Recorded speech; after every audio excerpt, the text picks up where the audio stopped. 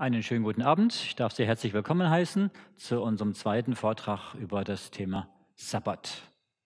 Beim ersten Thema hatten wir ja über die Geschichte des Sabbats nachgedacht und uns angeschaut, wieso der Sabbat in der Bibel von der Schöpfung über die ganze Geschichte des Volkes Israel bis zu Jesus und auch bis zur heutigen Zeit ähm, gehalten worden und von der Bibel her bestätigt wurde und dass der Sabbat nachher in den Sonntag verändert worden ist durch die Kirche im Mittelalter. Heute haben wir wieder ein Thema.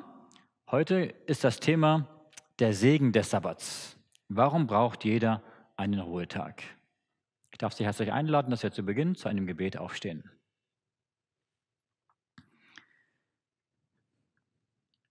Himmlischer Vater, wir danken dir, dass wir heute Abend wieder zusammen sein dürfen, dass wir uns Gedanken machen können über dich, über dein Wesen, über deinen Charakter und über deinen Sabbat, den du uns geschenkt hast. Wir danken dir, dass du mit diesem Sabbat einen großen Segen verbunden hast und dass wir diesen Segen spüren und erleben dürfen. Wir bitten dich, dass du heute Abend mitten unter uns bist, dass du unsere Herzen öffnest, unsere Gedanken und dass wir deine Schönheit und die Schönheit, Schönheit deines Sabbats heute Abend erkennen können. In Jesu Namen. Amen. Ja, der Segen des Sabbats. Sabbat halten ist gar nicht so einfach. Denn in der Bibel steht einiges drin, was man tun sollte, was man nicht tun sollte und was man, ja, wie, wie es optimal ist. Und ja, es gibt eine ganze Reihe ähm, Hinweise ähm, und auch Prinzipien, die wir uns heute Abend auch anschauen wollen. Ähm, ich als Pastor ähm, versuche auch immer wieder, den Sabbat, im Sabbat zu ruhen. Aber es ist gar nicht so einfach. Warum? Weil ich ja am Sabbat sehr viel zu tun habe. Da ist der Gottesdienst, da sind Nachmittagsveranstaltungen, Jugendstunde oder Seminare, Bibelstunden, Hausbesuche, Missionseinsätze und was auch alles noch so da ist. Und deswegen ist es so, dass ich mir am Montag meinen freien Tag immer nehme. Und es ist manchmal auch gar nicht so einfach, den freien Tag immer zu nehmen. Wir leben in einer Zeit heute, wo so viel Hektik und so viel so viel Trubel ist und so viel Stress ist und so viel Druck da ist im Arbeitsleben oh, und teilweise auch im privaten Bereich. Und es ist nicht einfach, den Montag immer freizuhalten von den ganzen Terminen, die man hat und von den ganzen Dingen, die man erledigen muss. Ähm, und manchmal muss man sich extra schauen, dass man sich die Zeit nimmt dafür. Und wenn ich mit meinem Praktikanten oder mit meinem jungen Jungprediger-Kollegen zusammen bin und wir haben immer Dienstags morgens Arbeitsbesprechungen, dann frage ich öfter mal, ja, was er denn am, Sonnt, am, am Montag, wir haben montags meistens alle unseren freien Tag, was er denn am Montag so gemacht hat. Manchmal erzählt er dann, naja, ich habe gestern noch so viel zu tun müssen, ich habe so viel zu tun gehabt und ich habe noch das und das erledigen müssen und der halbe Tag ist eigentlich für dienstliche Sachen draufgegangen. Naja, und dann muss ich mal schimpfen, muss ich sagen, nein, das ist nicht gut. Warum? Wenn man wenn man auch noch den freien Tag nimmt, um auch ähm, dienstliche Dinge zu tun. Und irgendwann ist der ganze freie Tag auch noch nur mit dienstlichen Dingen voll und irgendwann hat man sieben Tage die Woche rund um die Uhr nur noch, nur noch Hamsterrad. Und irgendwann geht man dabei drauf. Irgendwann kommt man in Burnout oder in, äh, in Erschöpfung oder irgendetwas anderes. Deswegen sage ich dir manchmal, ich ich sage dir hier, ähm, ich, ich, ich verbiete dir am Sabbat, nicht am Sabbat, ich verbiete dir am Montag zu arbeiten. Du musst den Montag freinehmen für deine Familie, für dich selbst, dass man mal irgendwo hinfährt, was Schönes macht mit der, mit der Frau oder auch mit der Familie. Das ist ganz wichtig. Und so ist es auch mit, mit dem Sabbat und uns. Weil Gott weiß, wenn er den Sabbat nur als ein Tag einen Angebotstag machen würde. Wenn er nur sagen würde, naja, wenn du willst, hier, ich habe dir ein Angebot, einen Tag in der Woche darfst du ruhen. Aber dann weiß Gott genau, wenn es nur ein Angebot ist, dann sagen viele Menschen, hurra, wunderbar, das nehme ich gerne. Aber wenn dann Stress kommt, wenn Druck kommt, dann machen sie doch nicht frei. Und deswegen hat Gott beim Sabbat nicht gesagt, wenn du willst, darfst du gerne, sondern Gott sagt, du sollst. Gedenke des Sabbattages, dass du ihn heiligst. Sechs Tage sollst du arbeiten und am siebten Tag sollst du ruhen. Das heißt also, Gott verbietet uns am Sabbat zu arbeiten. Warum? Weil er weiß, dass wir doch dazu geneigt sind, am Sabbat wenn es sein muss, wenn Druck kommt, den Sabbat nicht zu halten. Deswegen sagt Gott uns, hier, es ist nicht nur ein etwas Schönes, es ist auch ein Gebot, ähm, dass wir auch so ein wenig Druck dahinter haben, dass wir den Sabbat wirklich frei machen. In der heutigen Zeit ist es so notwendig, dass man, dass man auch wieder immer wieder zur Ruhe kommt. Wir werden uns heute Abend verschiedene Bereiche des Sabbats anschauen, verschiedene ja, äh, Schwerpunkte, was der Sabbat für eine Bedeutung hat, für uns persönlich. Ähm, der erste Punkt ist, der Sabbat ist ein Tag der Ruhe. Und Ruhe heißt, dass wir einfach auch ausruhen. Und es ist einfach nur mal so, dass Gott uns verschiedene Ruhezeiten gegeben hat. Wir haben ungefähr 16 Stunden tagsüber zum Wachsein und 8 Stunden zum Schlafen. Wir haben einen Wechsel zwischen, zwischen Arbeit und unsere täglichen Dinge zu erledigen und Schlafen. Ähm, einmal pro Tag 16 Stunden und 8 Stunden. Dann haben wir diesen Wechsel zwischen Arbeiten und Ruhen in dem Wochenzyklus. Sechs Tage arbeiten, ein Tag ruhen. Der siebte Tag, dort sollen wir ruhen, am Sabbat. Und wir haben diesen Wechselzyklus zwischen Arbeiten und Ruhen auch im Jahreszyklus. Wir haben heute, dass wir arbeiten und dann haben wir auch Urlaub. Ich weiß nicht wie viele, je nachdem, wo Sie gerade um was Sie arbeiten, drei Wochen, vier Wochen oder fünf Wochen. Ähm, und das war damals übrigens das Gleiche. Die Israeliten hatten auch Urlaub. Aber das hieß damals nicht Urlaub, sondern die hatten Jahresfeste. Äh, und zu diesen Jahresfesten mussten alle männlichen Israeliten äh, dreimal im Jahr mindestens nach Jerusalem pilgern und dort mitmachen. Und das waren insgesamt zusammengerechnet schon ungefähr zweieinhalb bis drei Wochen, die sie dann auch Urlaub hatten. Also auch damals hat Gott diesen Wechsel zwischen, zwischen, zwischen Arbeiten und Urlaub auch gesehen und gefordert und auch befohlen. Ja. Hier haben wir dieses Sabbatgebot. Im 2. Mose 20, Verse 8 bis 11 heißt es, Gedenke des Sabbattages, dass du ihn heiligest. Sechs Tage sollst du arbeiten und alle deine Werke tun. Aber am siebenten Tage ist der Sabbat des Herrn deines Gottes. Da sollst du keine Arbeit tun, auch nicht dein Sohn, deine Tochter, dein Knecht, deine Magd, dein Vieh, auch nicht dein Fremdling, der in deiner Stadt wohnt. Denn in sechs Tagen hat der Herr Himmel und Erde gemacht und das Meer und alles, was darinnen ist, und ruhte am siebenten Tage. Darum segnete der Herr den Sabbattag und heiligte ihn. Hier haben wir nochmal im letzten Teil dieses vierten Gebotes, haben wir nochmal die Begründung für den Sabbat. Weil Gott die Welt in sechs Tagen gemacht hat und am siebten geruht hat, deswegen sollen wir auch am Sabbat ruhen. Also der Sabbat ist ganz klar, hat einen Rückverweis, eine Rückbesinnung auf die Schöpfung. Ähm, und hier steht auch wieder, was Gott am Sabbat gemacht hat. Gott hat am Sabbat geruht, deswegen sollen wir auch ruhen. Und er hat den Tag gesegnet und er hat ihn geheiligt. Geheiligt heißt, dass er ihn abgesondert hat für ihn. Und gesegnet äh, heißt, dass er die Menschen, die den Sabbat halten, ihnen einen Segen gibt. Dass sie diesen Segen spüren und erleben. Ja, übrigens, dieses Gebot sagt nicht nur, dass wir den Sabbat heiligen sollen, am Sabbat ruhen sollen, sondern das heißt auch, dass wir sechs Tage arbeiten sollen. Hier steht, sechs Tage sollst du arbeiten und alle deine Werke tun. Deswegen, das ist auch ein Arbeitsgebot, dass wir sechs Tage arbeiten sollen. Und es ist auch gut so, denn Arbeit ist etwas, was uns Menschen gut tut. Müßiggang ist nicht gut für den Menschen. Natürlich ist zu viel Arbeit auch nicht gut. Wir müssen immer so eine ausgewogene Balance haben zwischen Arbeit und auch Ausruhen. Und ähm, deswegen sagt Gott, an diesen sechs Tagen sollst du das tun, was du für richtig hältst, für, deine, für dein Werk, deine Werke tun. Das heißt, was wir für den Beruf brauchen, was wir für unsere Hobbys brauchen, für unsere Freizeit, für unsere ähm, fürs Einkaufen und für, für unser Haushalt und was es, was es alles noch dazu braucht. Aber am siebten Tag, da sagt, da heißt es, ist der Sabbat des Herrn deines Gottes. Da sollst du keine Arbeit tun.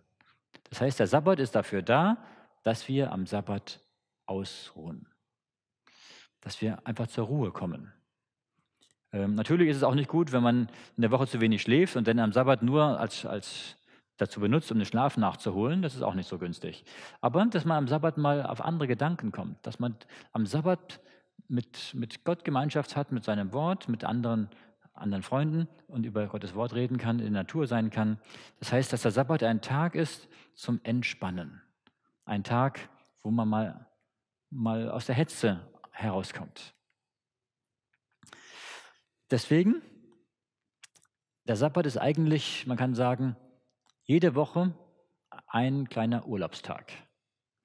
Und Gott möchte, dass wir ausspannen. Und gerade in der heutigen Zeit ist es wichtiger als je zuvor. Ähm, in der heutigen Zeit wird auch im Arbeitsleben immer mehr verlangt von den Menschen.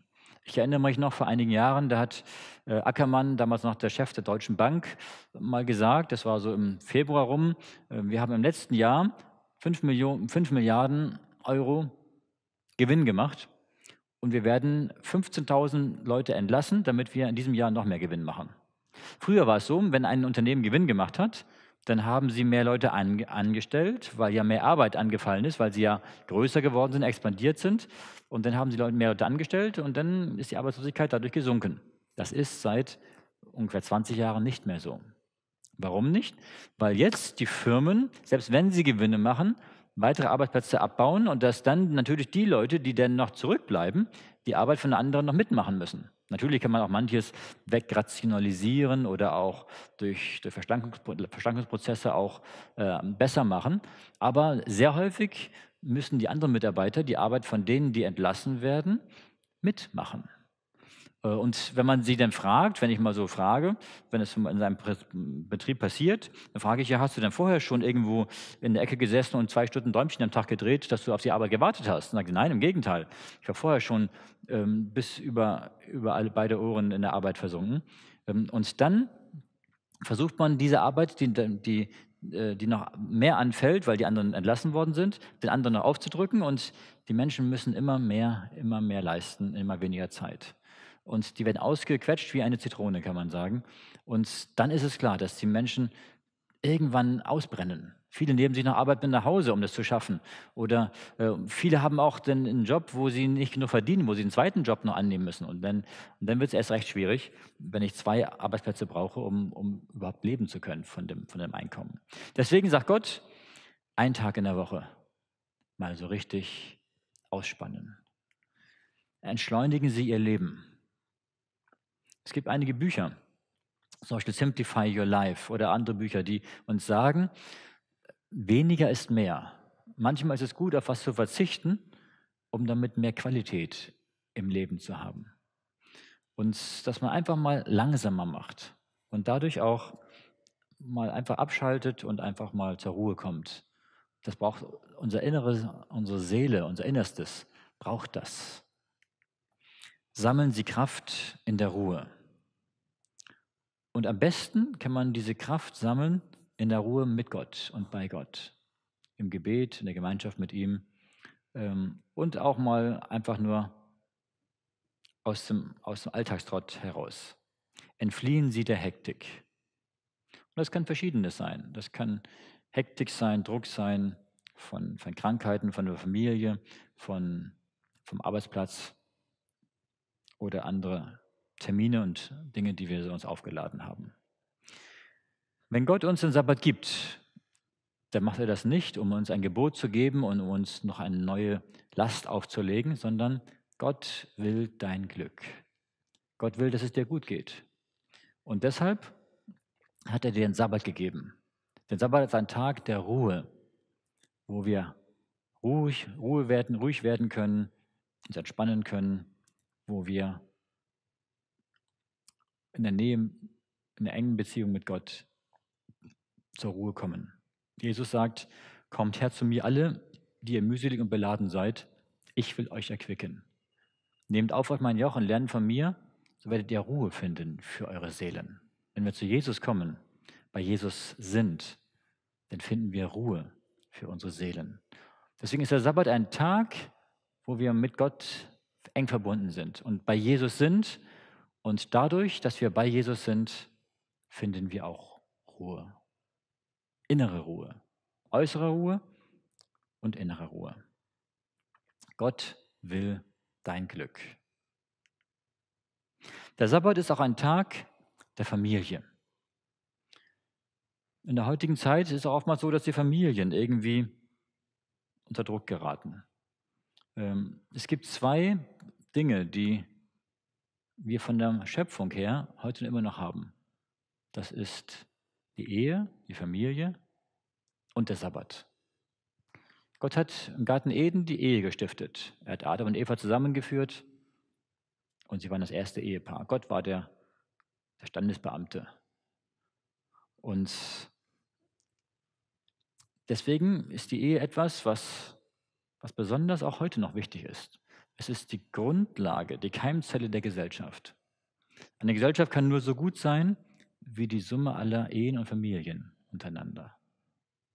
Und wenn die Ehen kaputt gehen, dann geht die Gesellschaft kaputt.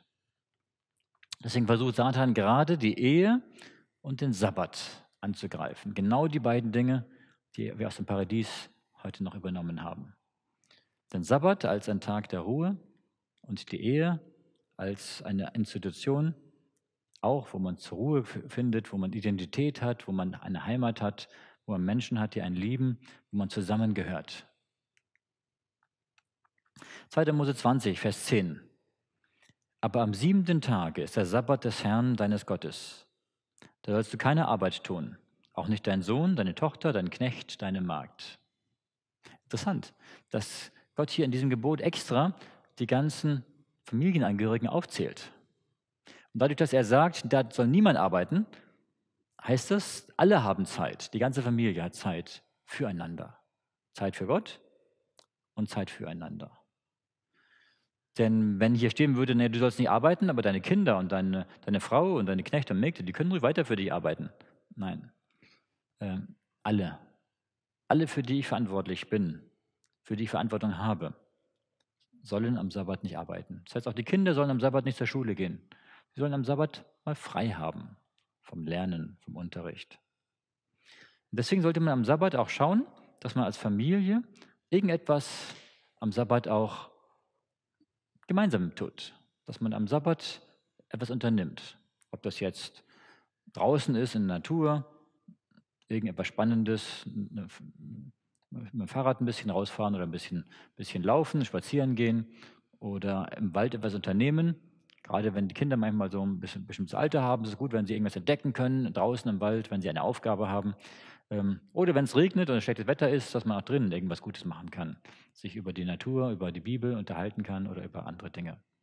Ja. Ähm, der Sabbat ist ein Tag der Familie. Und ich erinnere mich noch, als ich noch ja, Kind war, mein Vater ist ja auch Prediger, Pastor. Und der, wie es als Pastor nun mal so ist, der hat auch wenig Zeit gehabt. Man als Pastor manchmal halt oftmals mehr zu tun, als man schaffen kann und bleibt immer irgendetwas liegen und dann versucht man dem hinterherzukommen. Und, aber einmal hat er eine Entscheidung getroffen, das fand ich sehr gut. Da hat er gesagt, ich werde einen Tag in der Woche, das war glaube ich der Mittwochabend damals, als Familientag zu Hause sein. Und dann war es immer so, dass er dann Mittwochabends da zu Hause war und dann konnten wir als Kinder immer reihum aussuchen, was wir an dem Abend machen. Ob wir ein Spiel machen oder irgendwas was anderes zusammen machen. Ähm, und das ist etwas was Besonderes, wo wir als ganze Familie dann geschaut haben, dass wir alle an dem Abend äh, keine anderen Termine haben und dass wir alle an dem Abend zusammen etwas unternehmen und zusammen etwas tun können. Ähm, und dann war es am Freitagabend, das war immer schön auch. Freitagabend war immer Familienabend, der Sabbatanfang. Und aber Anfang ist etwas ganz Besonderes, wenn denn das Haus geputzt ist und alle Vorbereitungen, Sabbatvorbereitungen fertig sind. Und früher gab es bei uns auch manchmal Linsensuppe immer am Sabbat und dann hat meine Mutter am Sabbat, am Freitag, Nachmittag meistens Linsensuppe gekocht und dann roch das Haus schon so nach Linsensuppe. Und ähm, ja, und äh, das war dann so ein bisschen, dass man schon merkte und wusste, jetzt ist bald Sabbat.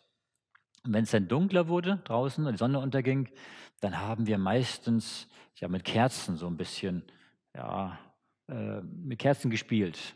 Wir hatten dann immer Kerzen angezündet, äh, aber wenn dann die Kerzen klein geworden sind, haben wir die Stummeln immer benutzt und haben mit den Stummeln noch irgendwie mit Kerzenwachs dann irgendwie noch neue Kerzen und neue Dinge gebaut und gemacht und das war immer so etwas Gemütliches. Und dann haben wir natürlich jeden Freitagabend, Sabbatanfang, immer eine, ein Sabbatanfang Andacht gemacht.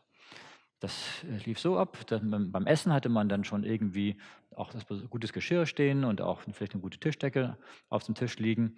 Ähm, und da gab es irgendwas Besonderes, ein Brötchen oder irgendetwas, was dann als Besonderes galt. Oder eine Sabbatüberraschung vielleicht auch, ähm, irgendein kleines Geschenkchen. Und dann, ähm, dann hatten wir dann die Sabbatanfang-Andacht. Das heißt, da haben wir zusammen gesungen, Lieder gesungen ähm, und dann haben wir aus dem Buch Menschen Gottes Hand oder auch aus anderen äh, Büchern, als wir älter wurden, aus anderen Büchern haben wir dann zusammen Geschichten gelesen oder auch erzählt bekommen.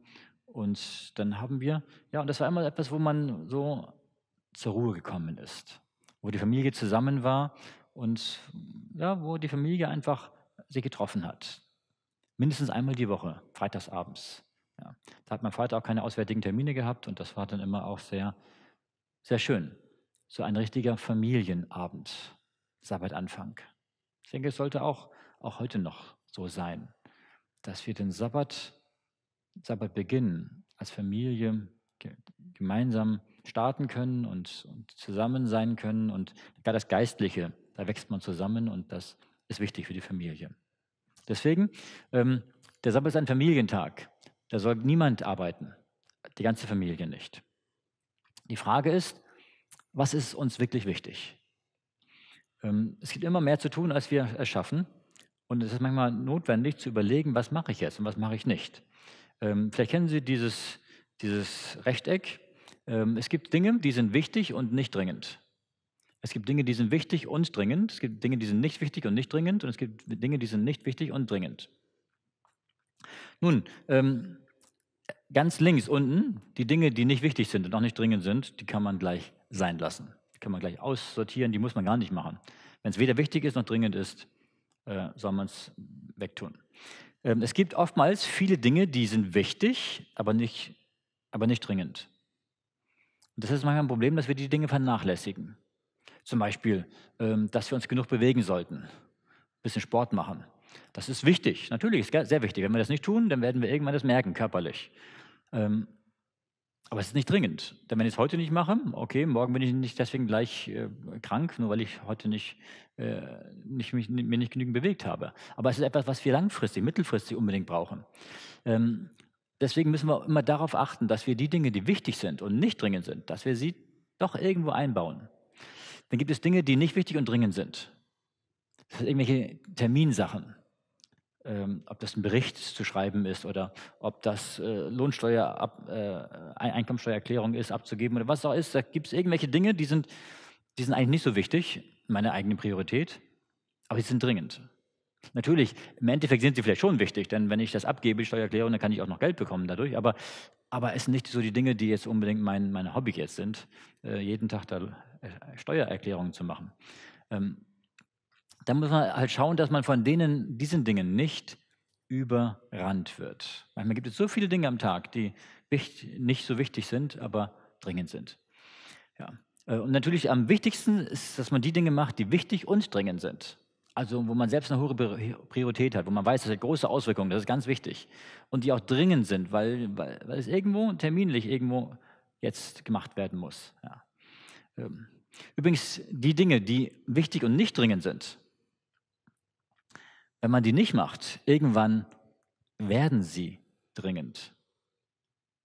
Und dann sind sie wichtig und dringend. Und da muss man sie auf jeden Fall machen. Deswegen besser, wenn man sie schon vorher ohne Stress macht, wenn sie noch nicht so dringend sind.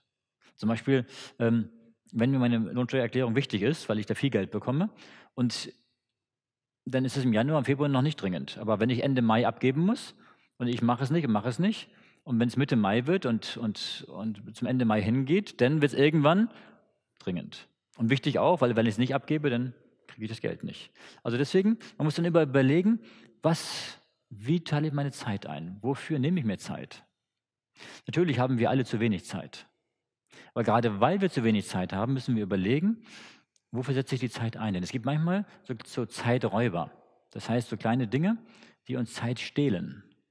Ich habe gemerkt, zum Beispiel das Internet ist etwas manchmal, was uns, was mir Zeit stiehlt, weil man manchmal im Internet irgendwelche Dinge surft und guckt und auf einmal will man hier ein bisschen gucken, da ein bisschen gucken und auf einmal ist eine Stunde schon wieder um und man hat eigentlich das, was man wollte, gar nicht geschafft.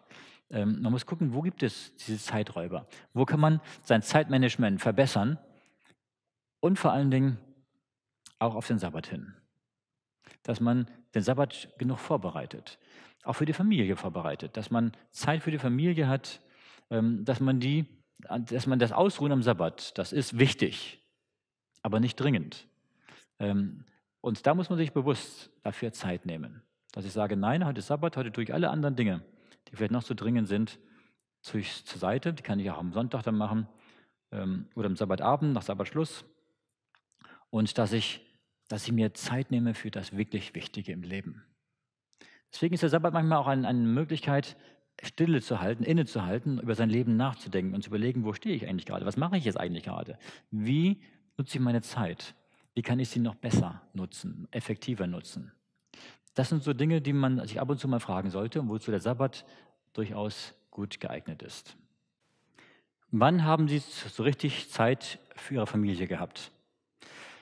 Da muss man manchmal manche Dinge zur Seite tun, manche Dinge einfach mal liegen lassen.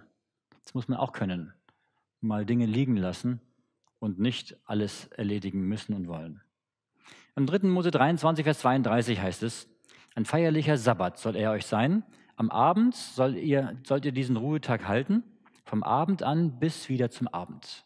Das heißt, der Sabbat beginnt am Freitagabend, Sonnenuntergang, und geht dann die ganze Nacht, den ganzen Samstag hindurch, bis Samstagabend Sonnenuntergang. Und Samstagabend Sonnenuntergang hört der Sabbat dann wieder auf. Das heißt, im Winter ist es schon sehr früh, um halb fünf, dann schon wieder der nächste Tag. Am Freitag ist natürlich dann auch schon um vier oder halb fünf, dann ist schon sehr früh Sabbatanfang am Freitag und schon sehr früh auch wieder Sabbatschluss am Samstag. Ähm, aber das ist die Zeit, wo man einfach vom Freitagabend den Sabbatanfang Andacht macht und auch am Sabbatabend dann wieder eine Sabbatschlussandacht machen kann. Wenn man dann zu Hause ist, dass man sich zusammen hinsetzt, nochmal zusammen singt, gemeinsame Andacht hat und den Sabbat beschließt. Und Gott dankt für diesen Tag der Ruhe, der Gemeinschaft, der Familie und dass man wieder einen neuen Arbeitstag, eine neue Arbeitswoche willkommen heißt. Deswegen gerade Sabbatanfang, Freitagabend und Sabbatschluss am Samstagabend sind gute Gelegenheiten mit der Familie, hier auch äh, dieses, diese Andachten zu halten und die Familie mit einzubeziehen. Deswegen Sabbatanfang. Eine Andacht die ganze Familie ist mit dabei. Ähm, Kerzen, dass man ein bisschen auch, gerade wenn es dunkel wird, das auch ein bisschen schön und gemütlich hat, dass der Tisch schön gedeckt ist, ein besonderes Essen auf dem Tisch hat. Ähm, muss was, nur eine Kleinigkeit sein, man muss keinen großen Aufwand machen dafür. Äh, dass man ein bisschen Atmosphäre einfach hat am Sabbatanfang. Und das ist etwas, was, was die Kinder erfreut, was die Kinderherzen höher schlagen lässt und was auch uns Erwachsenen gut tut. Gott will dein Glück. Gott will, dass es dir gut geht. Gott will, dass du gute Beziehungen hast. Mit deiner Ehefrau, mit deinem Ehemann, mit deinen Kindern.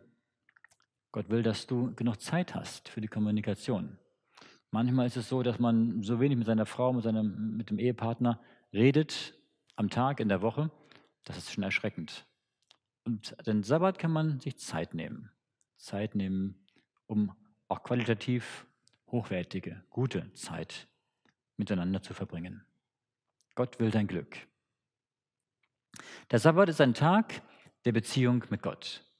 Wir hatten gesehen, er ist ein Tag der Ruhe, er ist ein Tag der Familie und er ist ein Tag der Beziehung mit Gott. Eigentlich ist das eines der wichtigsten Punkte vom Sabbat. Warum? Weil all die anderen Dinge, die wir in der Woche tun, die tun wir für uns, für unser Leben, damit wir leben können, damit wir Einkommen haben, damit wir unsere Interessen, unsere Hobbys ausleben können. Und am Sabbat geht es vor allen Dingen um Gott. Gott als Schöpfer, Gott als mein Erlöser, Gott als mein Freund, mein Helfer, Gott kennenzulernen, mit Gott eine Beziehung zu haben, die Beziehung zu pflegen. Beziehungspflege ist einfach wichtig.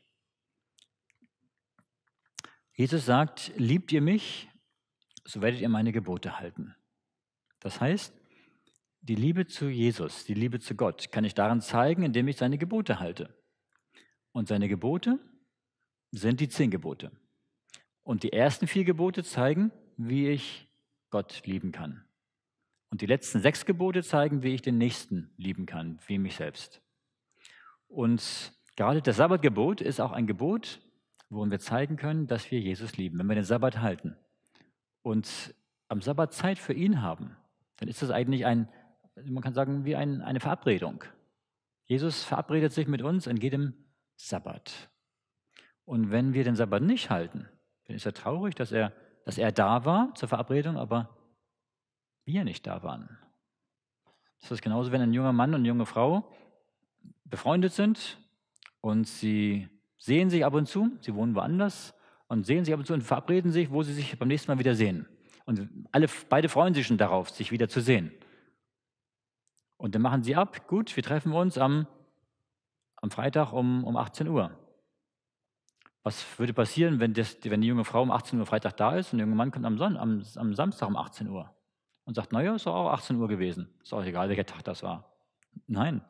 Ähm, es ist schon wichtig, dass man sie auch an die Regeln hält, dass man sie auch an das hält, was man verabredet hat, damit man auch zusammenkommt, damit man auch gemeinsam die gute Zeit verbringen kann.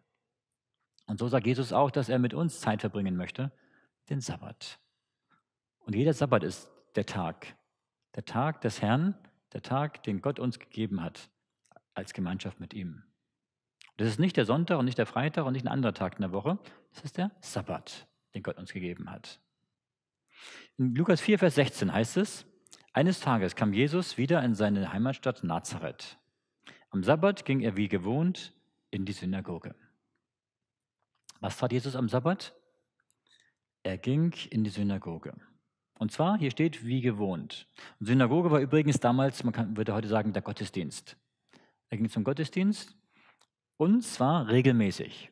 Hier steht nach seiner Gewohnheit. Das heißt, das war, jeden Sabbat war er am Sabbatvormittag in der Synagoge, um dort Gottes Wort zu lesen, Gottes Wort zu hören, Gottes Wort zu predigen, weiterzugeben, Gemeinschaft zu haben mit den anderen Gläubigen. Das ist wichtig. Ähm, und von daher ist es auch für uns, denke ich, ähm, dass wir am Freitagabend den Sabbat beginnen mit einer Sabbatanfangandacht, dass wir als Familie zusammen sind, uns gegenseitig Gutes tun, Gutes sagen ähm, und dass wir am Sabbatvormittag dann zum Gottesdienst gehen.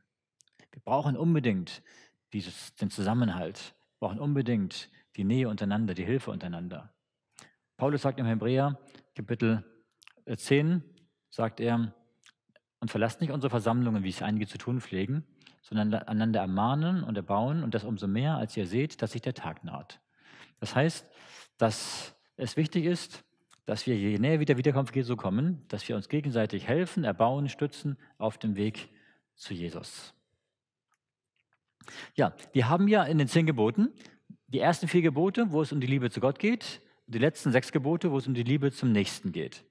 Und ich möchte jetzt einmal diese ersten vier Gebote ein wenig näher anschauen und aufzeigen, was diese vier Gebote, äh, in, wie sie in Verbindung stehen mit unserer Beziehung zu Gott, mit unserer Liebe zu Gott und dass eigentlich die Gebote und die Beziehung zu Gott keine Widersprüche sind.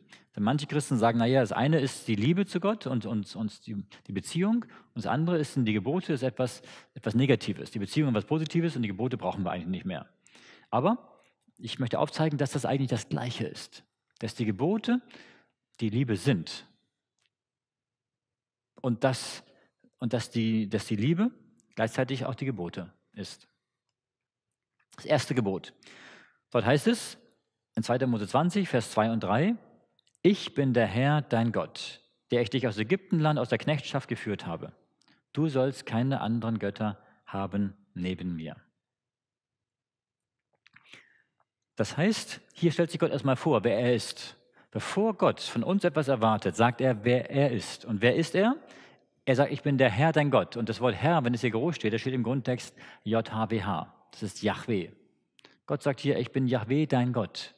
Er stellt sich vor, als der Gott Abrahams, Isaaks und Jakobs, der Gott ihrer Väter, der Gott, den sie eigentlich schon kennen. Und er sagt auch, was er getan hat. Bevor Gott etwas erwartet von uns, sagt er, was er für uns getan hat. Nämlich er sagt, ich habe dich aus Ägyptenland, aus der Knechtschaft herausgeführt. Und das war ja so ein gewaltiges Erlebnis, ja, wie die Plagen in Ägypten gekommen sind und wie denn die, die gläubigen äh, Israeliten denn das mitbekommen haben und wie sie denn am Ende nach der zehnten Plage ziehen durften und frei waren. Frei ihr eigene. Und sie haben sogar noch viele Dinge mitbekommen von den Ägyptern, Geschenke und, und, und Schmuck und andere Dinge, äh, kostbare Gegenstände. Und ähm, und dann auch am Toten Meer, am Roten Meer, wo sie, ähm, wo sie dann äh, von den Feinden wieder äh, eingeholt wurden und die Ägypter sie wieder zurückholen wollten und wie Gott dann ihnen den Weg durch das Rote Meer gebahnt hat und sie dann trockenen Fußes hindurchgehen konnten und die Ägypter alle im Meer umgekommen sind. Dieses, diese gewaltige Tat Gottes, das ist das, was er hier meint, was er hier sagt. Ich habe dich aus Ägypten geführt. Gott hat seine Macht offenbart.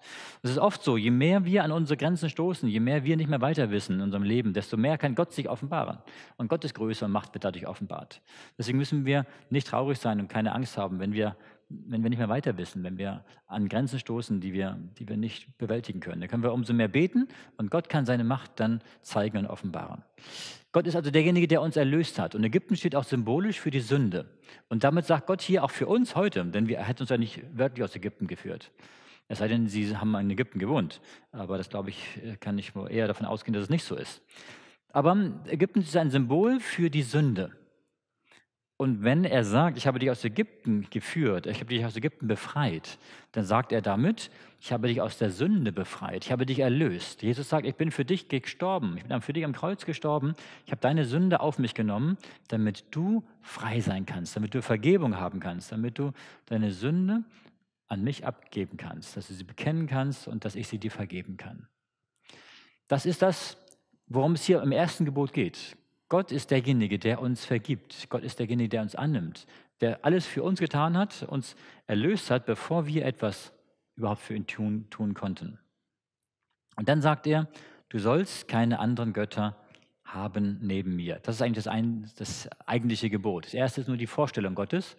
Das ist das eigentliche Gebot, dass Gott sagt, du sollst keine anderen Götter haben neben mir. Die Heiden hatten oftmals viele Götter. Die hatten eine Viergötterei. Dass sie gesagt haben, ich habe einen Gott für die Fruchtbarkeit, einen Gott für den Regen, einen Gott für, für, die, für, die, für, die, für den Intellekt und einen, und einen Gott für die Sexualität und für alles Mögliche, ein extra Gott. Aber Gott sagt, nein, ich bin der Einzige. Du sollst keine anderen Götter neben mir haben. Ähm, und damit sagt Gott, ähm, wenn du eine Beziehung zu mir eingehst, dann bin ich eifersüchtig. Ich möchte nicht, dass du anderen hinterherläufst. Genauso wie wenn man geheiratet hat, dann möchte die Frau auch nicht, dass man anderen Frauen hinterherguckt oder mit anderen Frauen anfängt zu flirten und so anzubändeln und da irgendwelche Beziehungen zu beginnen. Ähm, nein.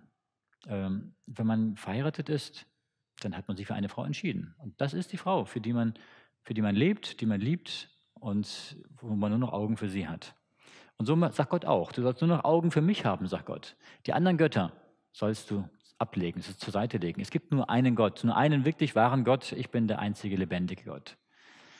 Und deswegen sagt Gott hier, ich möchte mit dir eine enge Beziehung haben.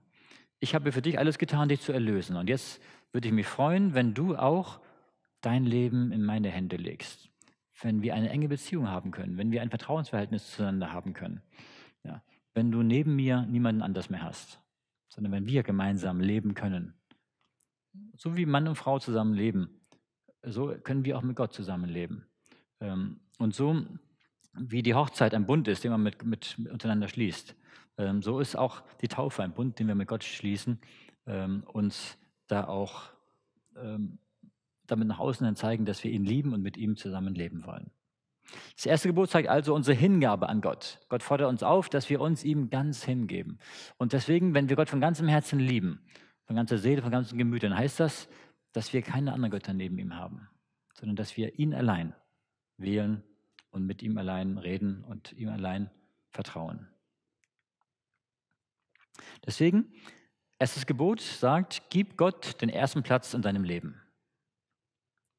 Das zweite Gebot, dort heißt es, du sollst dir kein Bildnis noch irgendein Gleichnis machen, weder von dem, was, im, was oben im Himmel, noch von dem, was unten auf der Erde, noch von dem, was im Wasser unter der Erde ist. Bete sie nicht an und diene ihnen nicht. Denn ich, der Herr, dein Gott, bin ein eifernder Gott, der die Missetat der Väter heimsucht bis ins dritte und vierte Glied, an den Kindern derer, die mich hassen. Aber Barmherzigkeit erweist an vielen Tausenden, die mich lieben und meine Gebote halten. Hier sagt Gott uns, dass wir uns keine Bilder machen sollen. Das heißt nicht, dass wir jetzt keine Fotos machen dürfen mit unserer Kamera, sondern es heißt hier, du sollst ja keine Bilder machen, nicht nur keine Bilder von Gott, sondern auch keine Bilder machen von, von anderen Dingen. Und zwar, wir sollen sie nicht machen, um sie nicht anzubeten. Das heißt, der Mensch ist neigt dazu, wenn er religiös irgendetwas verehrt, dass er auch das, was er verehrt, sehen möchte. Ähm, und deswegen haben die meisten Religionen auch irgendwelche Götzenbilder oder irgendwelche Gottesstatuen. Ähm, aber Gott sagt, nein, das möchte ich nicht. Ich möchte, dass ihr keine Bilder habt und nicht an Bildern hängt. Ich möchte, ich möchte dass ich direkt mit euch kommuniziere, dass wir dann eine direkte Gemeinschaft haben ähm, und dass, ähm, ja, dass es auch ein Segen ist. Und zwar, die Begründung ist, dass Gott sagt, dass Gott ein eifersüchtiger Gott ist. Das heißt, wenn Schuld aufgetreten ist, dass Gott diese Schuld durchaus, wie es hier steht, bis ins dritte und vierte Glied heimsucht. Das heißt nicht, dass die Schuld vererbt wird oder weitergeben wird. Im Hesekiel heißt es, dass der Sohn nicht die Schuld des Vaters tragen soll und der Vater soll nicht die, Schuld des Sohnes tragen. Also mit anderen Worten, die Schuld trägt jeder für seine eigene Sünde. Aber ähm, die Folgen einer Sünde können weitergegeben werden. Ja, wenn jetzt der Vater Haus und Hof versäuft äh, oder verspielt, dann ist es klar, dass dann die Kinder keinen Hof mehr haben, dass sie ärmer sind, arm sind. Ja, und in dem Sinne ähm, müssen die Kinder den Folgen leiden, ähm, die die Eltern auch in Sünde getan haben. Ähm, aber es ist nicht nur so, sondern das kann auch sein, dass über die Erbfaktoren, ja, dass auch man den Kindern gewisse Erbanlagen mit, vererbt mitgibt. Und das hängt auch davon zusammen, ähm, dass da auch gewisse Vorlieben oder sündige Neigungen auch bis ins dritte und vierte Glied weiter vererbt und weitergegeben werden können. Aber natürlich, die Verheißung ist auch da, dass Gott Barmherzigkeit erweist an vielen Tausenden. Das heißt jetzt nicht in tausend Generationen, sondern es ist Tausenden ähm, gleichzeitig, von Menschen, die gleichzeitig leben. Dass Gott also äh, die Zahl derer, an denen er Barmherzigkeit erweist, ist größer als die drei oder vier Generationen, ähm, wo auch Sünde eine Folge haben kann. Deswegen möchte Gott, dass wir ihn lieben und seine Gebote halten. Das ist das, was hier im zweiten Gebot steht. Das heißt, wir sollen uns keine eigenen Bilder von Gott machen. Das ist manchmal ein Problem, dass viele Christen und viele Menschen sich selbst ihren Gott ausdenken und sagen, so muss Gott sein. Und da ganz und nur da irgendwo sich verrennen und manchmal ihr Gottesbild sehr schief liegt. Entweder ist es ein Gottesbild, wo, wo, sie nur Gott als strafenden Gott sehen oder Gottesbild, wo sie Gott nur als liebenden Gott sehen und alles andere ausblenden. Es ist aber wichtig, dass wir den Gott der Bibel ganzheitlich erkennen und sehen und lieben. Deswegen im zweiten Gebot geht es um die Frage, Erkenne Gott, wie er ist. Lerne Gott immer besser kennen und nehme ihn an, so wie er ist. Dass wir uns keine Bilder von ihm machen, weder jetzt rein materiell, aber auch nicht im Kopf, dass wir bestimmte Bilder haben, wie wir glauben, wie er sein müsste, damit er so funktioniert, wie, wie wir wollen. Aber das funktioniert nicht. Ähm, Gott möchte nicht nach unserer Pfeife tanzen, sondern es ist andersrum. Wir, möchten, wir sollen uns nach ihm ausrichten, nach seinem Willen ausrichten. Das erste Gebot sagt also, gib Gott den ersten Platz in deinem Leben. Das zweite Gebot sagt, erkenne Gott, wie er ist. Nimm Gott so an, wie er ist. Das dritte Gebot,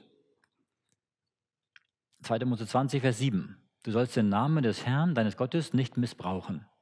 Denn der Herr wird den nicht ungestraft lassen, der seinen Namen missbraucht.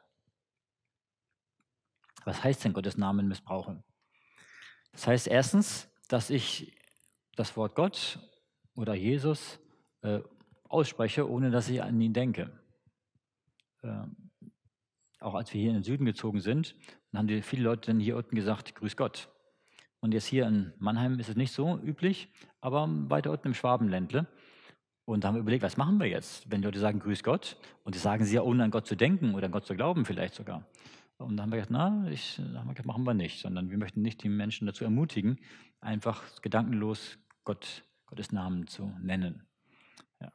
Und von daher, aber es das heißt aber auch, dass wir nicht ähm, religiöse Macht über andere ausüben sollen. Das heißt, dass wir nicht im Namen Gottes auftreten und anderen vorschreiben, was sie tun sollen, sondern jeder ist selbst der Herr äh, und Gott führt jeden Einzelnen persönlich. Deswegen, ähm, wir sollen seinen Namen nicht missbrauchen. Das heißt, dass wir Ehrfurcht vor Gott haben sollen weil Gott heilig ist, weil Gott groß ist und dass wir auch diese Ehrfurcht vor ihm bekunden und zum Ausdruck bringen. Das vierte Gebot, das ist das Sabbatgebot. Ich habe hier nochmal einen Teil nochmal davon zitiert.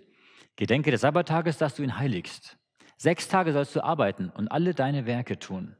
Aber am siebenten Tage ist der Sabbat des Herrn deines Gottes. Da sollst du keine Arbeit tun.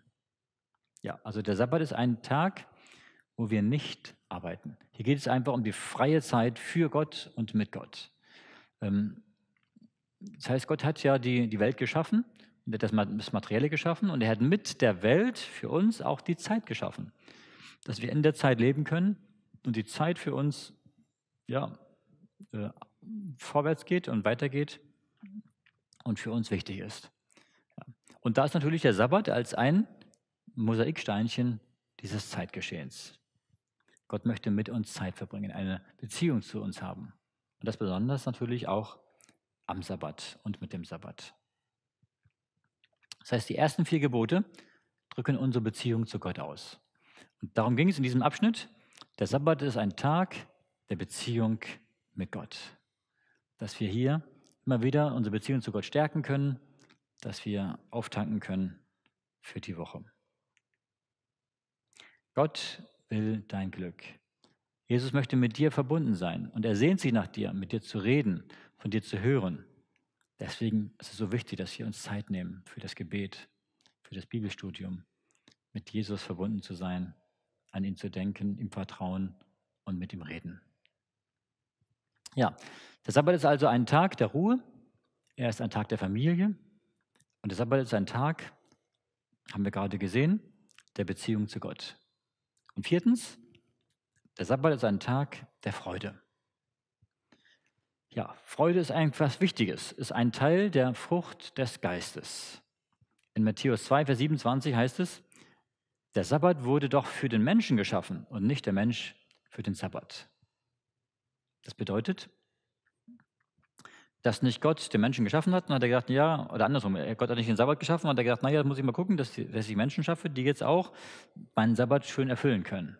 Nein, genau andersrum. Gott hat den Menschen geschaffen, zu seinem Bilde, ist eigentlich das, das höchste Geschöpf in der Schöpfung gewesen. Und dass er dann gesagt hat, okay, was kann ich jetzt dem Menschen Gutes tun, dass er sich ausruhen kann und dass er auch veredelt wird. Deswegen hat er den Sabbat eingesetzt, dass wir durch den Sabbat Gott näher kommen, Gott besser kennenlernen und auch auf einem guten Weg sind und von, Gott geführt werden. In Markus 3 heißt es, Vers 1 bis 6, hat der Hoffnung für alle Übersetzung. Als Jesus wie gewohnt zur Synagoge ging, war dort ein Mann mit einer verkrüppelten Hand. Seine Gegner warteten gespannt darauf, wie Jesus sich verhalten würde. Sollte er es nämlich wagen, auch am Sabbat zu beheilen, so könnten sie Anklage gegen ihn erheben. Jesus rief den Mann mit der verkrüppelten Hand zu sich. Steh auf und komm her, damit alle dich sehen können. Dann fragt er die Anwesenden, soll man am Sabbat Gutes tun oder Böses? Soll man das Leben eines Menschen retten oder soll man ihm zugrunde gehen lassen? Doch er bekam keine Antwort. Zornig sah Jesus einen nach dem anderen an, traurig über ihren, ihre Hartherzigkeit. Zu dem Mann aber sagte er, strecke, strecke deine Hand aus. Er streckte sie aus und die Hand war gesund. Da verließen die Priester die Synagoge und trafen sich mit den Freunden und Anhängern des Königs Herodes. Sie berieten miteinander, wie sie Jesus töten könnten. Interessant. Hier war ein Mann mit einer verdorrten Hand, mit einer verkrüppelten Hand. Und Jesus sieht den Mann. Und jetzt kennt er die Gedanken von den Pharisäern, weil die nämlich sagen, am Sabbat darf man nicht heilen. Das ist ja Arbeit. Aber interessant ist, Jesus schlägt mit ihren eigenen Waffen. Nämlich, laut dem jüdischen Gesetz gilt es auch als Sünde, wenn man jemandem helfen könnte, aber nicht tut. Und deswegen fragt Jesus ihn, sie, soll man am Sabbat Gutes tun oder Böses tun? Und das heißt, wenn er das Gute, was er hätte tun können, nicht getan hätte, hätte er damit das Gute nicht geschehen lassen und wäre damit schuldig geworden. Auf der anderen Seite ist interessant, dass die Pharisäer, die Jesus anklagen, er würde den Sabbat übertreten, was er ja nicht gemacht hat. Dass sie, was, was tun sie am Sabbat? Sie planen am Sabbat einen Mord. Sie überlegen, wie sie Jesus umbringen können, wie sie Jesus aus dem Weg schaffen. Das heißt also, dass wir hier, Jesus es hier zeigt, dass es durchaus in Einklang ist, dass man am Sabbat Gutes tut für andere. Jesaja 58, Vers 13 und 14. Der Herr sagt, achtet den Sabbat als einen heiligen Tag, der mir gehört.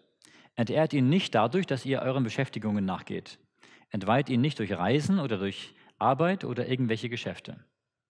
Betrachtet ihn nicht als eine Last, sondern als einen Anlass zur Freude. Dann werde ich selbst die Quelle eurer Freude sein. Über alle Hindernisse lasse ich euch triumphieren. Und ihr könnt den Ertrag des Landes genießen, das ich eurem Stammvater Jakob gegeben habe. Der Herr hat das gesagt. Interessant. Ähm, das ist ein wichtiger Vers hier. Äh, hier sagt der Jesaja, er ruft uns dazu auf, dass wir den Sabbat halten sollen. Gerade im Vers davor sagt er nämlich, dass die Mauer wieder geschlossen werden soll, nämlich die Mauer im Gesetz. Ähm, und das heißt, dass das Gesetz, die zehn Gebote wieder hundertprozentig auch mit dem Sabbat gehalten werden sollen. Und deswegen sagt er, der Sabbat ist nicht eine Last, sondern eine, ein Anlass der Freude. Das heißt, wenn wir den Sabbat richtig begehen, wenn wir zur Ruhe kommen, wenn wir mit Jesus Gemeinschaft haben, wenn wir uns Zeit nehmen für ihn und für die Familie, dann wird der Sabbat etwas sein, worauf wir uns schon freuen. Wo wir merken, das tut uns gut, das hilft uns, ausgeglichen zu sein, mit Jesus zu leben, ihn in unserem Herzen zu haben. Ja.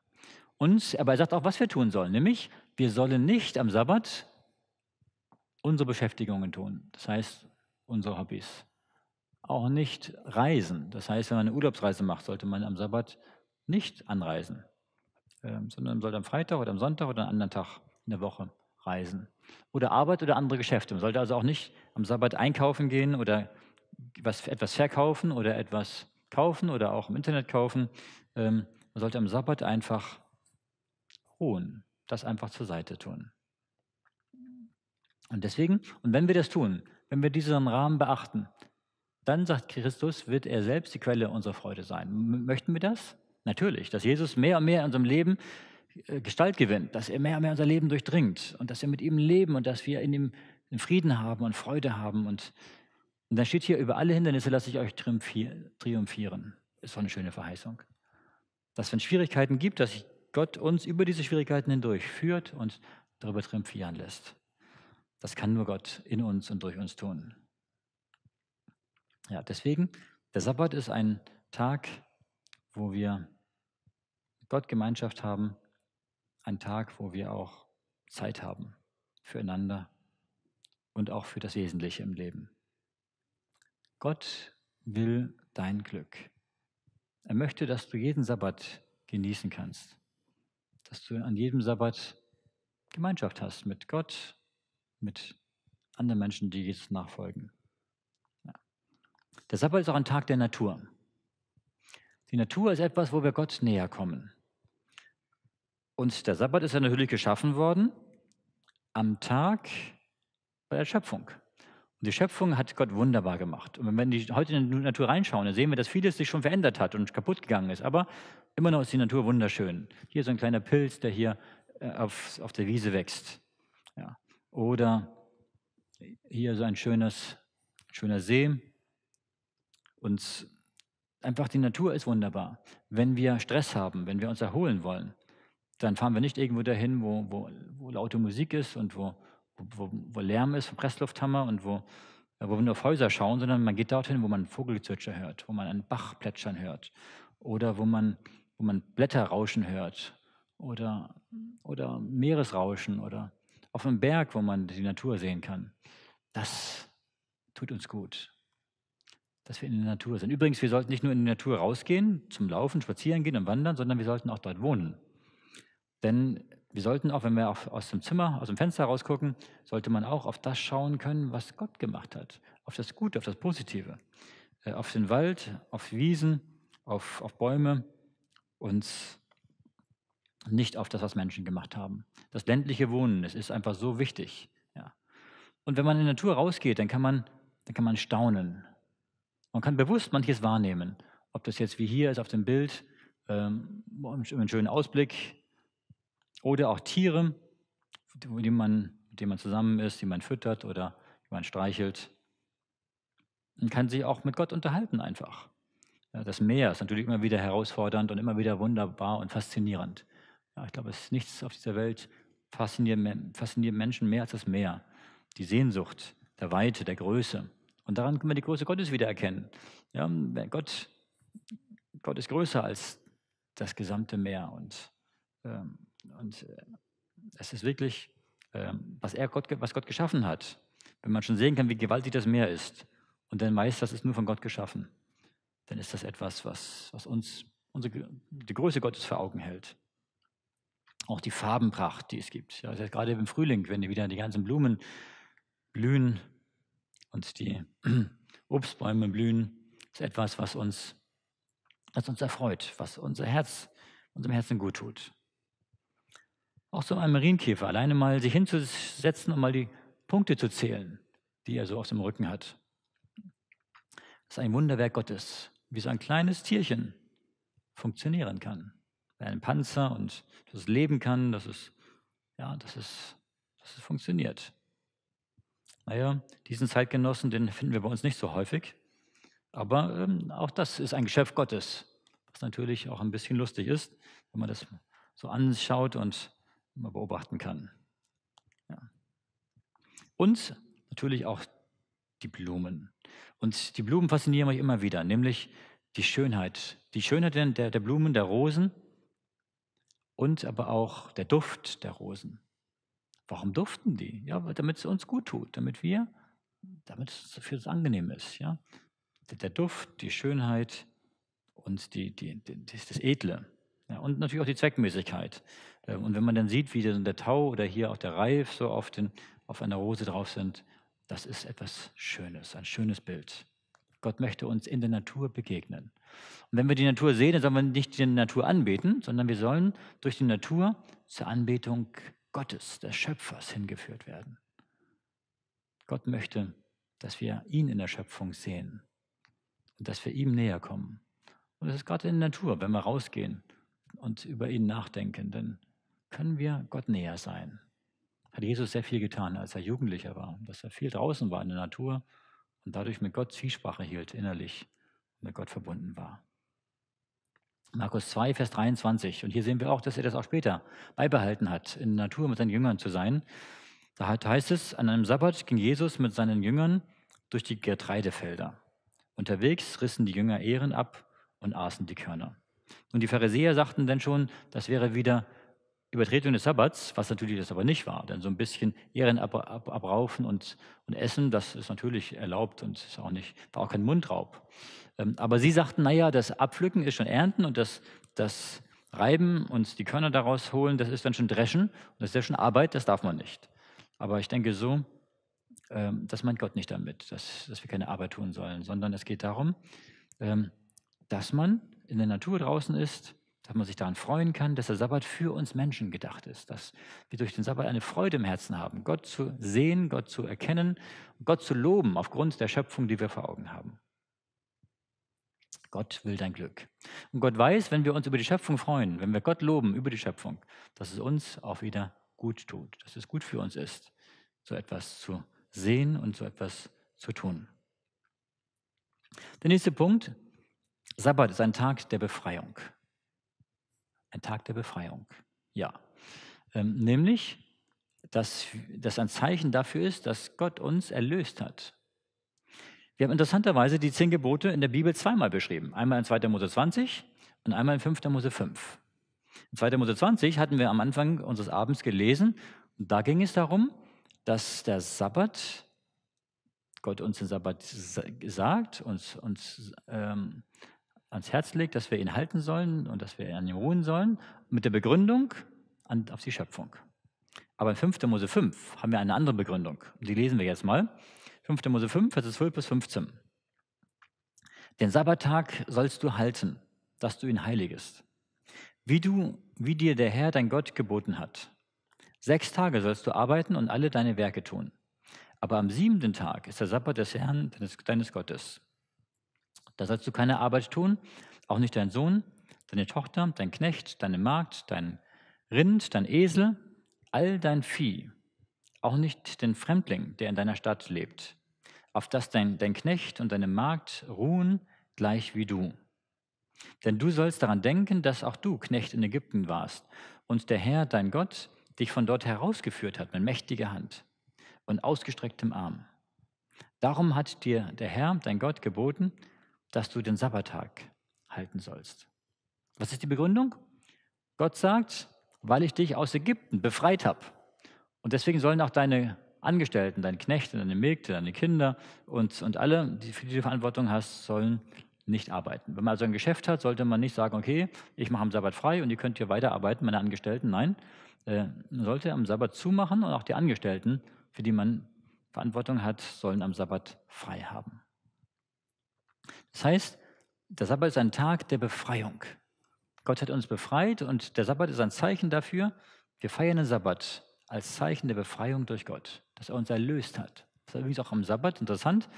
Äh, Jesu Tod. Er ist am Freitag Nachmittag gestorben. Und dann haben sie ihn begraben, am Freitagabend noch, vor dem Sonnenuntergang. Und dann war er den Sabbat über, lag er im Grab. Den ganzen Sabbat. Sonnenuntergang, Freitagabend, Sonnenuntergang, Samstagabend. Und dann am Sonntagmorgen ganz früh ist er auferstanden. Das heißt, dass Jesus auch in seinem Tod den Sabbat gehalten hat, am Sabbat geruht hat im Grab. Ja, deswegen, der Sabbat ist ein Tag der Befreiung, dass Gott uns befreit hat, ein Zeichen dafür, dass er auch heute noch uns befreien möchte. Möchte uns befreien von Süchten, von Sünde und dass wir mit ihm leben und ihm ähnlicher werden. Gott will dein Glück. Er will, dass es dir gut geht und dass du befreit wirst. Befreit wirst von allen Bindungen, die es noch gibt auf dieser Erde und allen Süchten. Der Sabbat ist aber auch ein Vorgeschmack auf den Himmel. Ja, manchmal ist es gut, wenn man, wenn man so in ein Restaurant kommt, dann hat man manchmal, dass man irgendwie so einen Appetithappen bekommt. Das heißt, dass man dann irgendwo äh, ja, so, so, ein bisschen was zum, zum Knabbern oder was zum Trinken bekommt, da hat man schon Appetit bekommt auf das richtige Essen. Und so ist der Sabbat jetzt schon. Jeder Sabbat ist ein kleiner Vorgeschmack auf das, was kommen wird. Wenn wir Gottes Nähe spüren und, und diesen Frieden im Herzen haben, ist das schon ein kleiner Vorgeschmack auf den, den, die Ruhe und den Frieden im Himmel.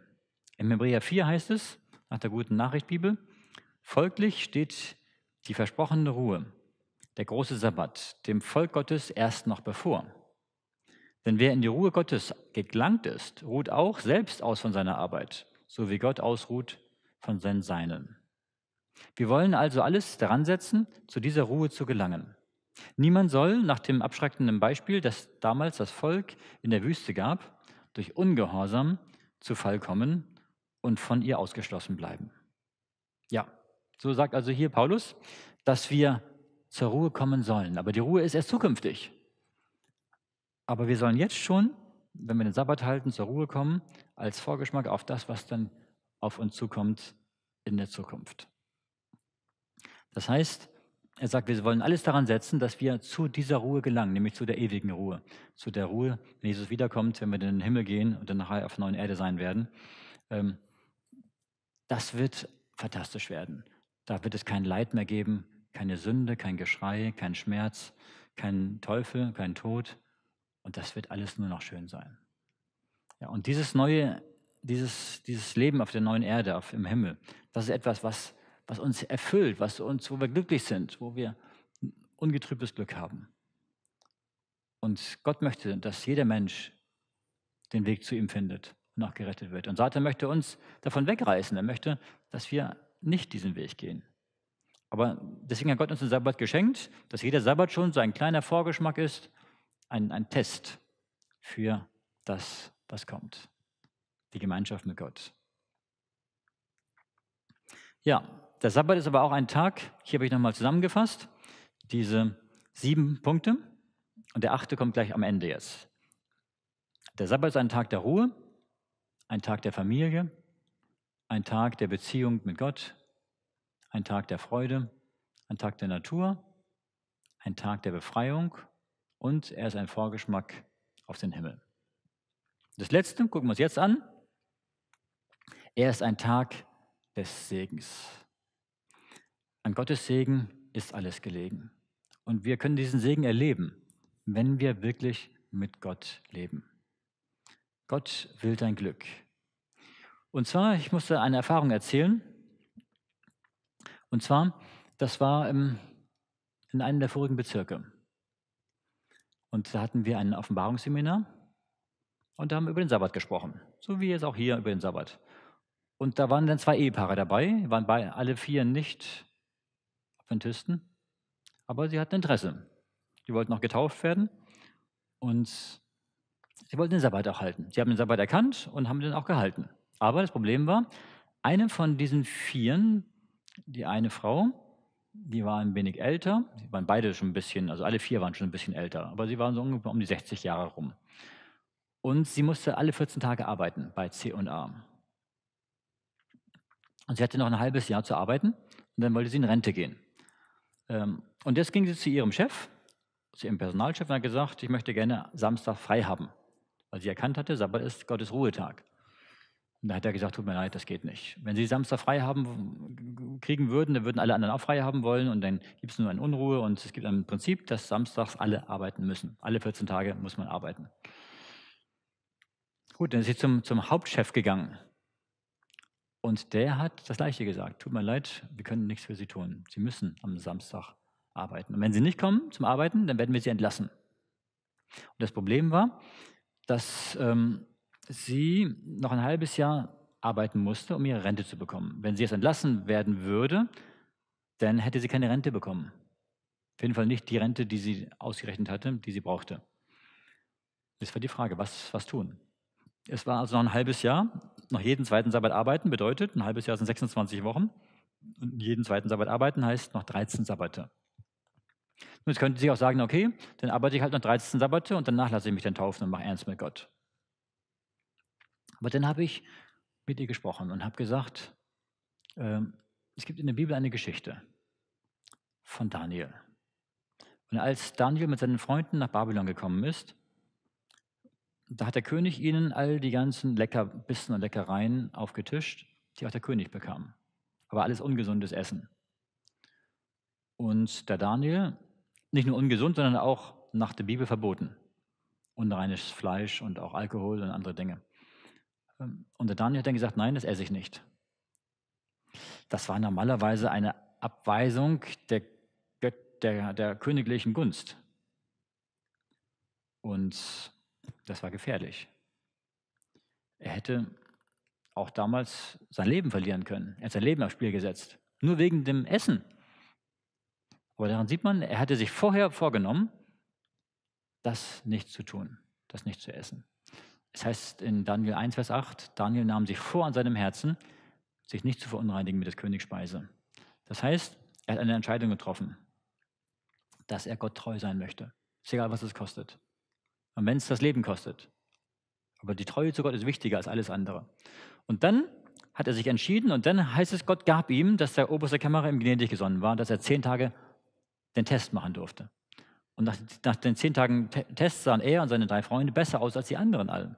Gott gab es wieder. Und nach drei Jahren gab Gott es ihm, dass er auch klüger war als alle Weisen im ganzen Land. Gott gab es. Aber die Reihenfolge ist interessant. Er steht da, er entschied sich in seinem Herzen, das nicht zu essen. Und dann steht da, Gott gab ihm. Punkt, Punkt, Punkt. Verschiedene Dinge. Und so ist es auch heute, habe ich denn der Dame erklärt. Ähm, Gott prüft uns manchmal. Er lässt uns, er lässt Schwierigkeiten zu. Und dann möchte er, dass wir uns entscheiden, ihm treu zu sein. Dass wir ihm vertrauen. Wenn wir ihm vertrauen, dann sagen wir, Herr, ich weiß, du hast eine Lösung für das Problem. Aber Gott öffnet erst dann die Türen, wenn wir uns entschieden haben, treu zu sein, nicht vorher. Das habe ich ihr dann erzählt so und erklärt. Und dann hat sie dann gesagt, gut, ich entscheide mich, dass ich samstags, sabbats nicht mehr arbeiten werde, egal was kommt. Und wenn ich meine Rente verliere, verliere ich meine Rente. Ich möchte Gott treu sein. Gott ist mir wichtiger als das andere. So wie Jesus sagt in Matthäus Kapitel 6, Trachtet zuerst nach Gottes Reich und nach seiner Gerechtigkeit, so wird euch das alles zufallen. Das heißt, wenn wir nach Gottes Reich trachten, dann ihn an die erste Stelle setzen und die Prioritäten so setzen, dass das Wichtigste ist, dann wird Gott auch das andere alle uns zufallen lassen. Sie hat sich entschieden, nicht mehr zu arbeiten. Wir haben darum gebetet, dass Gott etwas tut. Es ging um den Sabbat, das Thema heute. Es kann schon auch sein, dass manchmal eine Krise kommt. Und dann, eine Woche später, trafen wir uns wieder zum Seminar und dann kamen sie und sagte, ich muss euch was erzählen. Sagte sie, letzte Woche habe ich mich ja entschieden, den Sabbat zu halten und nicht mehr zu arbeiten. Und einen Tag später kam der Personalchef zu ihr und hat Folgendes gesagt, Frau so und so, ich habe nochmal darüber nachgedacht, ähm, worüber wir gesprochen haben. Sie möchten gerne samstags nicht mehr arbeiten. Sagte, offiziell kann ich Ihnen nicht freigeben. Das geht nicht. Da möchten die anderen auch frei haben. Aber ich habe gesehen, Sie haben ja nur noch ein halbes Jahr. Es sind noch 13 Samstage. Und ich werde es so einrichten, dass Sie zwar auf dem Plan draufstehen, aber dass wir, dass Sie jedes, jede Woche tauschen können oder alle 14 Tage tauschen können. Also das heißt, dass Sie samstags nicht mehr zur Arbeit kommen müssen. Das heißt, er hat es von sich aus zu ihr gesagt. Sie hatte keine Möglichkeit mehr, keine Chance mehr gehabt, irgendetwas zu tun.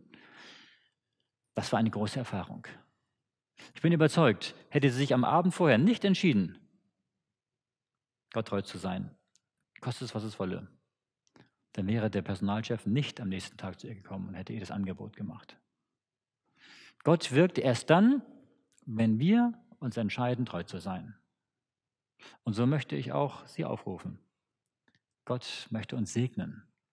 Und diesen Sabbatsegen können wir nur erleben, wenn wir uns auch entscheiden, treu den Sabbat zu halten. Wirklich, von ganzem Herzen. Und alles andere zur Seite zu tun. Und den Sabbat zu entlasten von all den ganzen alltäglichen Dingen. Gott will dein Glück. Gott will dich segnen. Gott will, dass es dir gut geht. Der Sabbat ist ein Tag des Segens. Deswegen, Gott lädt dich ein. Er lädt dich ein, sage Ja zu ihm. Dass du ihm dein Leben übergibst. Denn der Sabbat an sich macht ohne Christus keinen Sinn. Aber mit Christus ist es alles. Weil Jesus diesen Tag mit uns zusammen gemeinsam verbringen möchte. Wenn wir Ja zu Jesus sagen und dass wir auch Ja zum Sabbat sagen. Er schenkt uns seinen Sabbat. Für uns Menschen ist er gemacht, damit wir ein besseres Leben haben können, ein erfüllteres Leben haben können. Wie entscheidest du dich? Es gibt nichts Schöneres, als mit Jesus zu leben, Jesus im Herzen zu haben und zu wissen, dass wenn Jesus wiederkommt, wir dann in die Ruhe des Himmels eingehen dürfen. Deswegen möchte ich Sie einladen, dass Sie Ihr Leben Jesus ganz ausliefern. Alle Ecken des Lebens dass sie nichts zurückbehalten. Und eine ganze Übergabe an Gott bedeutet auch, dass ich auch sage, Herr Jesus, ich möchte gerne das tun, was du sagst, was du möchtest, was dein Wille ist. Ich möchte auch deinen Sabbat halten.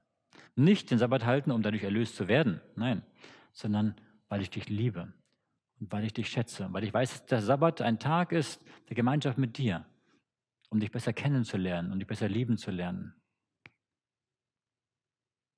um mit dir Gemeinschaft zu haben. Ich lade Sie ein, dass wir diese Entscheidung in unserem Herzen jetzt treffen. Und dass wir das zum Ausdruck bringen in dem Gebet, das wir jetzt gemeinsam sprechen wollen. Ich lade Sie ein, dazu aufzustehen.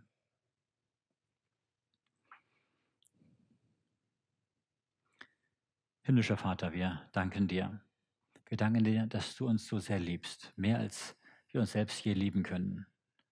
Wir danken dir, dass du aus Liebe zu uns uns geschaffen hast uns gewollt hast, uns erlöst hast durch das Blut Jesu Christi. Und wir danken dir, dass du uns den Sabbat geschenkt hast. Denn Sabbat ist ein Tag der Gemeinschaft mit dir, der Ruhe, der Entspannung, der Familie und des Segens. Herr, segne du uns, segne du jeden Sabbat, den wir erleben, dass wir mit dir eng verbunden sind. Und hab du Dank dafür. In Jesu Namen. Amen. Ja, vielen Dank, dass Sie dabei waren an diesem Abend, an diesen zwei Abenden über den Sabbat. Und ich würde mich freuen, Sie wiederzusehen am nächsten Sabbat. Denn es lohnt sich, den Sabbat gemeinsam zu verbringen und in Gemeinschaft mit Gott. Kommen Sie gut nach Hause. Bis zum Wiedersehen. Auf Wiedersehen.